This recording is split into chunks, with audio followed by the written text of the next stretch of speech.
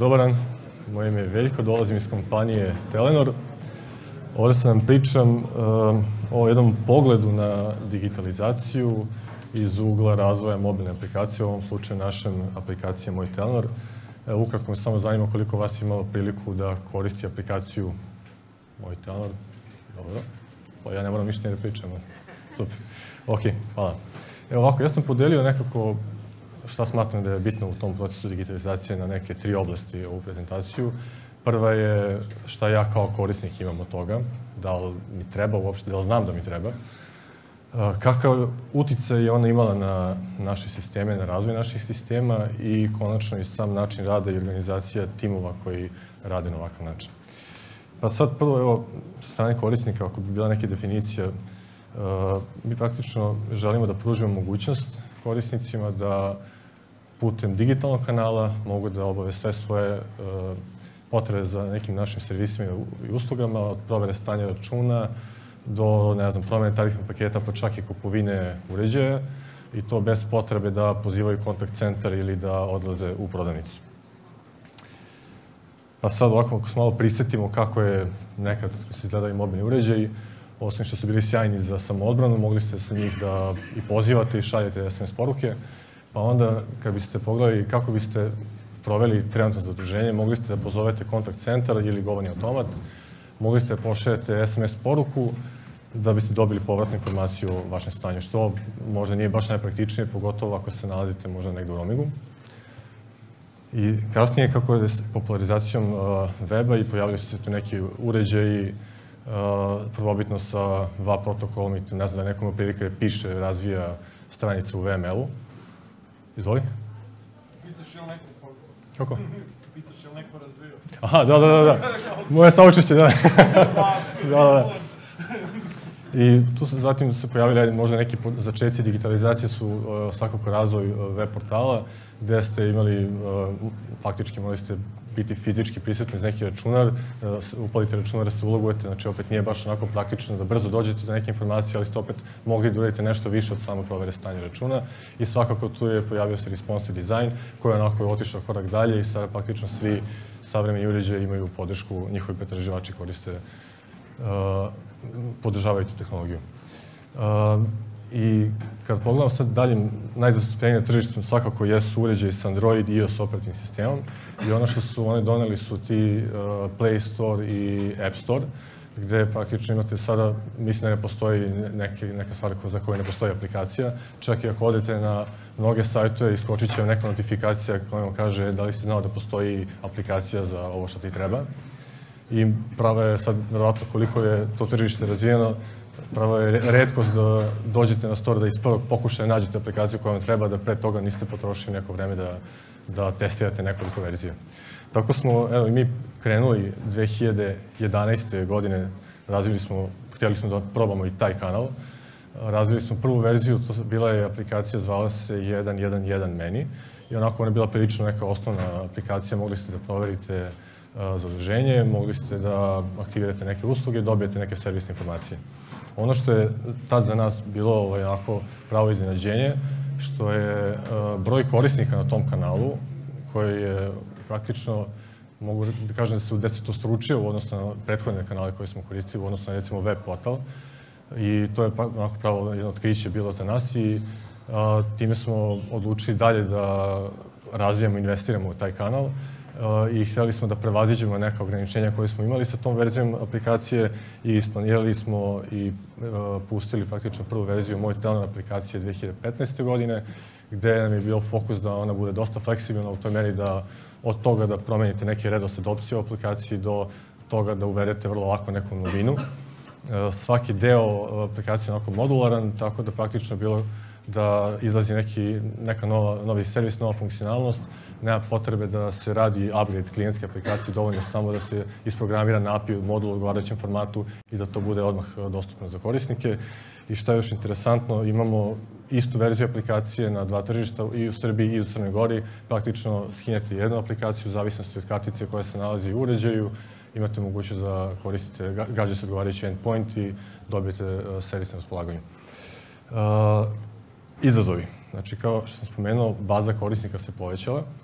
a ono što imamo s ove strane je u pozadini sisteme s kojima komuniciramo, dakle dobijamo informacije, nisu u početku bili ni skalirani u toj meri da bi podržali taj uh, toliki saobraćaj, tako da tu moramo onako pametno da se osmisli kako da ne narušimo neko korisničko iskustvo, a da opet pružimo ovaj, neku zaštitu ka našem, uh, ka našim pozadinskim sistemima, tako da tu daj neki uh, način na koji keširamo informacije i kako ih čuvamo do ključnog značaja. Zatim, ovo i sledeću tačku bih spojio nekako, ovaj, ne znam, ako neko ima priliku da radi u velikoj organizaciji, uh, zna kako je kompleksno i postoji ta neka stroga podela odgovornosti. Imate operacije sa jedne strane koje su zadužene da brinu o vašim serverima, availability 99 sa ne znam koliko devetke na kraju i oni ne vole promene, sve što se menja potencijalno ugrožava njihovu harmoniju. A sa druge strane imate bandu programera koji bi stalno nešto da puštaju, da menjaju, da testiraju, da neke inovacije. Tako da to je onako neki izazov gde možda operacije umeju da budu kao neki kočničar. I sad, mislim, rešenja, uslovno rečeno. Uh, ono što smo mi prepoznali kao nekoliko stvari je o Eclipse Startup. Zašto su startup kompanije brze? Zato što nemaju te neke stege koji ih vuku dole, uh, imaju taj neki svež pogled na, uh, na no, nove stvari. Tako da ako se stavite taj neki mindset da se ne ograničavate stvarima koje su vam date, nego prosto fokusirate se na cilj šta želite postignete, pa posle istražujete načine kako da, da tako nešto ostvarite. Zatim, svakako tu je DevOps pristup. Mi smo se trudili da dovučemo i da, i da praktično izgradimo kompetencije unutar development timova, da uh, proširimo naše znanje, ono sa čime vladamo, da bismo bili malo agilniji i uh, time da bismo uh, praktično omogućili da što pre uh, sprovedemo u delo ono što smo zamislili i da budemo brži u uh, plasiranju neke usluge ili proizvoda koje, imam, koje planiramo. Sad bih i naveo nekoliko praktičnih primjera, ovo je tehnički skup, pa da, evo, što smo isto imali priliku, uh, Ilija mislim da spominjao da su koristili Memcache pa su prešli na Redis, je naš uh, pokušaj bio s tim što smo imali već ranije neku konfiguraciju postavljenu, da smo mogli da biramo da li ćemo koristiti cache engine, Memcache ili file system ili bazu podataka, tako da smo praktično samo koristeći postojeći interfejs uh, dodali podršku za Redis i toku jednog prepodneva samo smo se prebacili na njega i da vid, prosto čisto da vidimo, eksperimentišemo kako bi, da li je bolji, da li, da li bi nam pomogao u onome što, uh, što radimo i rezultati su bili zaista fantastični. Iako je Memcached bio praktično na istoj instanci gde je aplikacija, nemate network latency nikakav, a Redis je u klasteru na potpuno drugom, drugom neži drugoj DMZ zoni. Rezultati su zaista bili sjajni, tako da ko nije još probao Redis, svakako preporuka da, da ga proba. I sledeći, možda i najveći izazov koji je bio stavljen pred nas je došla je do nas informacija da će biti plasirana kampanja koja će da afektuje u nekom kratkom vremenskom intervalu veliki broj korisnika, a znamo da upravo ti pikovi su ti koji mogu da naruše i da obore ovaj sistem. I sa tadašnjom arhitekturom koju smo imali, imali smo praktično samo jedan frontend server uh, i mogli smo samo da se skaliramo vertikalno, dodajemo još procesora, memorije, što više nije bilo ni, nije imalo smisla. Uh, imali smo nedelju dana da napravimo neku brzu analizu, da se pripremimo i odlučili smo se da ne, sad praktično smo uh, isklonirali postojeću instancu produkcije, napravili smo dve nove virtualne mašine i odlučili smo da testiramo jedno onako brzo rešenje kao što je load balancer i to open source load balancer H-proxy gde smo na istoj instanciji, na produkcijnoj instanciji mašine gde se vrti naš API, na drugom portu samo podigli H-proxy i testirali malo, radili A-B testiranje na ove nodove nove koje smo postavili, da prosto vidimo da to funkcioniše.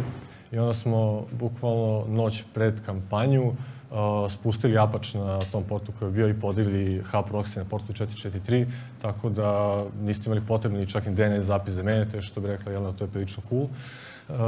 I tako da kažem, uh, on, ono što sam htio time da kažem je da i vi kao uh, neko ko je radi u development, možete da neki način bez nekog skupog komercijalnog uh, hardverskog load balancera nađete neko, eto, kao što je ovo open source softversko rešenje i od tad kad smo ga plasirali nismo imali nijedan downtime, tako da opet još jedna preporuka za ako želite da skalabilnost i ovaj, redundansu. I svakako sad kad smo se već dohvatili malo tog operativnog dela, uh, ono, zanimalo nas je kako se sad ti naši sistemi ponašaju. Imamo ovaj, sad dve, praktično možemo lako dodajemo nove instancije, onda da bismo ne bi pojedinačno gledali logove na svim tim serverima, skupljamo ih na jednom mestu i onda uh, želimo da gledamo kako se naši sistemi ponašaju i da možemo u realnom vremenu praktično da eventualno odreagujemo koliko postoji neki izazov. Ovo je ukratko samo arhitektura, ovo je neki naš domen gde se mi nalazimo. I sada poslednje, a najbitnije, je sam tim koji uh, radi uh, razvoj i uh, ovako da kažemo, spominjao sam taj uh, agilni uh, pristup. Mi smo počeli uh, 2014. godine kao neki pilot projekat da, da probamo da radimo po Scrum metodologiji. Uh, I to je bio projekat uh, nekih šest meseci i bio je uspešan i nakon toga smo počeli da primenjujemo i da širimo to kroz cijelu organizaciju, tu kulturu i takav način rada, tako da danas praktično svi development timovi, skoro svi development timovi rade po ovoj metodologiji. I sada zašto, zašto je ta, ta metodologija bitna, zašto je Scrum, šta je dobro doneo, svakako kako pogledamo kako smo nekad tradicionalno vodili projekte gde smo imali neke sveobuhvatne tehničke detaljne analize koje traju neko vreme, pa onda planiranje budžeta i resursa i na kraju kad uh, prođu meseci ili godinu dana čak, kad plasirate neki proizvod, možda to više nije uopšte aktuelno ili shvatite da to uopšte nije relevantno za korisnika i zato i nama taj pristup bio jako zanimljiv da možemo da radimo po tom principu minimum viable produkta, da počnemo nešto, plasiramo, iako nije kompletna usluga, pratimo dešavanja, dobijemo neke sugestije korisnika i da možemo odmah u, već u tim nekim brzim iteracijama da primenjujemo te izmene i da plasiramo ponovo tu neku uh, bolju, kvalitetniju uslugu. Uh, ono što je interesantno, imamo sprintove dve nedelje, to onako, nekako smo našli kao najoptimalnije. Uh, I obzirom da imamo tako nekoliko timova koji sarađuju, bitno je da međusobno se komuniciraju u zavisnosti. To činimo na nedeljnim Scrum Scrum sastancima gde se predstavnici timova nalaze i komuniciraju izazove koje imaju i uh, probleme. Jel? I uh, što se tiče naših stakeholdera, imamo kvartalna planiranja gde uh, se u principu definiše high level onako šta će biti u sledećem kvartalu isporučeno i tu se formira backlog kao takav. Uh, ukratko, kako teče neki proces tog razvoja kod nas. Imamo, svaki developer ima svoju development instancu, uh, imam, kada završi razvoj i komituje svoj kod, uh, imamo nekoliko testing okruženja zavisnosti od broja inicijativa, kada je nešto spremno za produkciju, ulazi na staging, to je kao neka još safety check, dodatni staging okruženje, praktično predstavlja koristi iste interfejse, iste servise kao i produkcijani, tako da tu možemo da eventualno učimo, otklonimo neke nedostatke kao ne znam što je problem sa konektivnošću. Uh, I ovo što vam možda poznato, to je sa sajte Gita, koristimo Gitflow workflow, gde uh, master branch odgovara staging, pa i produkcijne instanci. Ima development branch u koji se merđuju feature branchovi, znači kako se razvija neki novi feature, uh, developer izvede iz uh, development brancha, razvija i spušta nazad kad završi. Ono čemu sada uh, razmatramo da li nam uopšte development branch i treba, tako da moguće da ćemo uh, potencijalno taj deo da ovaj, promenimo. I, ajde, ovako ukratko, samo još dotako bi se alata sa kojima radimo. Jira ima dobru podršku za Scrum uh, i uh, ceo backlog se praktično formira tu kolaboracija uh, na ovakav način. Git sam je spomenuo, SonarQube za statičku analizu koda, Jenkins kao za integraciju Kibana takođe sam spomenuo i koristimo Slack gde komuniciramo šta ćemo da klopamo i tako to. Uh, to je u principu te tri oblasti su bile najvažnije onako što sam hteo da podelim sa vama, koje onako na što je sve ta digitalizacija uticala, kako na korisnika, tako na način na koji radimo. I eto, pozvao bih sve ko nima priliku da instalira našu aplikaciju, to može da učini putem storova. I ono čime se naročito ponosimo, imamo preko milion downloada, imamo onako prilično visoku ocenu 4,2, što se smatra onako jednom od, um, u samom vrhu što se tiče ostalih članica Telenor grupe po, po visini ocene. Tako da, eto, to je bilo to sa moje strane. Hvala na pažnji. Uh, ako ima vremena, kako se bio s vremenom? Sam dobar sa vremenom? Da, ako ima neki pitanja o tome. Kad će da bude ovaj podrška za više brojeva u istoj aplikaciji? Pošto imam, imam dve kartice i obe su Telenor i treba E, ti imaš nekog u tenoru koga poznaješ? Pošto da, to, to je nešto na čemu radimo. Da, da, da, da, to je nešto na čemu radimo, praktično da imate taj korisnički profil gde šta god da imate, koje god brojeve imate na sve godine vas, bilo da su i prepaid registrovani brojevi ili ovaj, postpaid, bit će tada mogućnost u planove. U backlogu je. Službeni telefon. Da, da, raspitat ćemo se.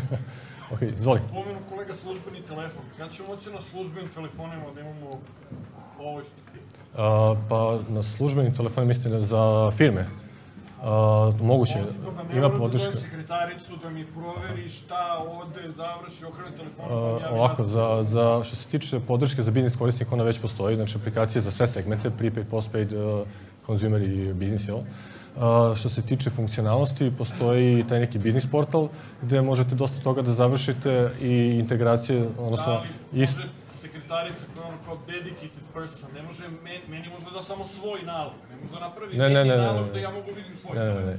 Mo, može, sve, sve na nivou privilegije, znači, uh, kod firme malo kompleksnije, oni moraju šalju zahtev da bi se otvorio nalog, a jednom dobiju zahtev, mogu da daju pristup kome god hoće, pa čak i vama, na primjer, da, Da, možete raditi. sam ja skonto nju, ona da pristup da opet vidim svima sve telefone u firmi, ne da vidim samo svoj telefon. A može isključeno za tvoj broj, pa onda ti imaš uvid samo svoj račun, svoju specifikaciju da poziva. Može, može. Samo, samo praktično nađete u spisku uh, zaposlenih tamo i odredi tvoj broj, dobit ćeš SMS i putem SMS ćeš krenuti proces. Ovaj. Da. Ma i web aplikacija mi do bilo šta, vrati, ne mogu naš. Da. Račun Postoji, postoji podrška svakako, da, da. Da. da. Ok, izvoli.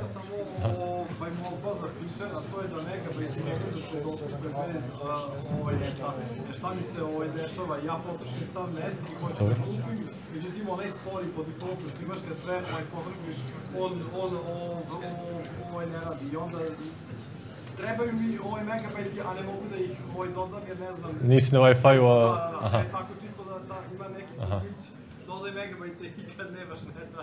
A, dobro, ok. Važi, preneću kolegama, Ima hvala. jedna neka poruka koja se šalje, ali uvek je za Može to i SMS, ja mislim. Dobro, dobro. U principu, API je prilično, pa evo kolega ide. API je prilično onako lightweight, tako da čak i kad je taj spor net tu, trebao bi da, da je koliko toliko funkcionalno. Nije mi radilo. Aha, dobro, okej. Okej, okej. Hvala za feedback, da. Ok, ništa, hvala vam mnogo na pažnji. To je to, hvala.